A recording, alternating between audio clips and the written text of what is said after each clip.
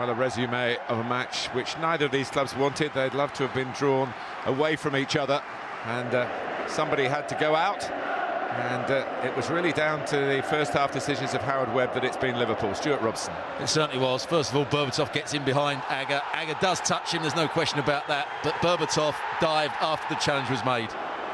I wouldn't have given a penalty. Howard Webb saw it differently. There's comes a little touch. And then he throws himself to the ground, Berbatov. But he, Agger should never have been that tight and should never have allowed Berbatov to turn towards the byline. He should have been forcing him away from goal. But you see how late Berbatov goes down. Ryan Giggs, very early in the game, inside the second minute, to be called upon to take the responsibility from the penalty spot. But he was the right man at the right time with the left foot. It's a good strike. Pace, accuracy. As I said before, right height for the goalkeeper to save, but he couldn't quite get there. And the second major decision by Howard Webb. Steven Gerrard on Michael Carrick. And the colour of the card was to be a red one. We'll watch again when we see the action replay. See it from this side, but Howard Webb wasn't actually watching. It's a late challenge. It's a dangerous challenge from Gerrard. I think he's going for the ball, but when you come off the ground and you go with both feet like that and your studs are showing, there's every possibility the referee could see it as a red card. Well, this is the closest in the end that Manchester United actually came to getting a second goal right on half-time from Jonny Evans looking for his first goal for the club and really pumping that header into the post. That was a great header from Jonny Evans. He wasn't picked up, or he was picked up by Maxi Rodriguez, who didn't really want to head the ball. Agger tried to get across there. This time, Manchester United don't have the luck. O'Reilly had no chance on the line.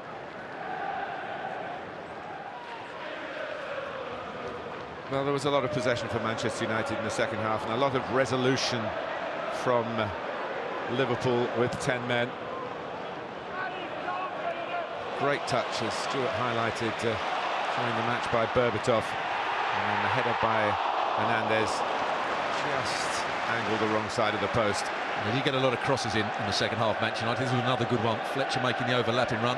Hernandez does well to get in front of Skrtel. Actually, when I see it again, you expect him almost to score that because he is such a good header of the ball. just the wrong side of the post. Ryan Giggs getting plenty of the ball, plenty of supply. And Reina didn't hold it under challenge from Hernandez and Berbatov couldn't keep it down. And this is what Ryan Giggs did so many times, just getting the ball into it. There's the great jump from Hernandez, and you've got to credit Skrtel. He just got out there and put Berbatov off. Yeah, Ryan Babel on here, trying uh, instantly to make an impact. And uh, Kuszczak needing to handle this cleanly. Yeah, Lucas was coming in. He does handle it cleanly, but Babel gave him something different.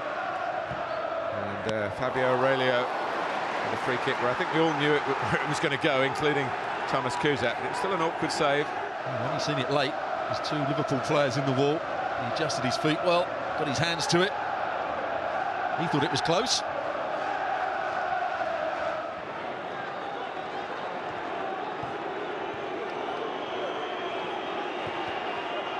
It was a little bit uh, fortunate how the ball got to Dimitar Berbatov for that chance, but Reina was racking up the saves in this period of the second half. He was alive, wasn't he, Berbatov? Took a couple of deflections, and Reina makes a good save. That's going in if it doesn't hit him on the leg.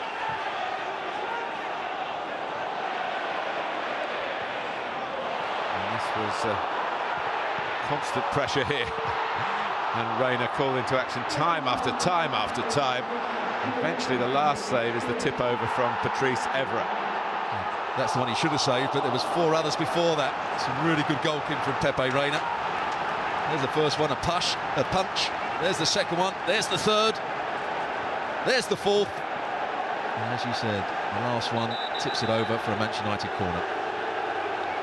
Well, they tried hard for the second goal.